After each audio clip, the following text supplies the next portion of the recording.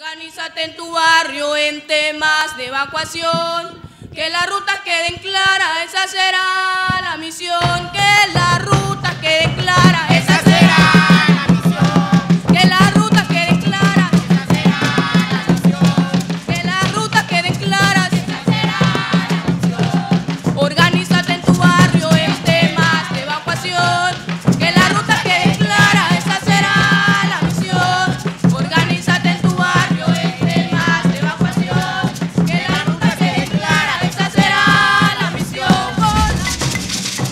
y nos mira la vida.